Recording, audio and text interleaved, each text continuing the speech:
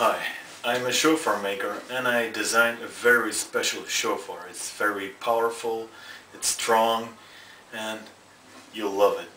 I'm gonna demonstrate it to you.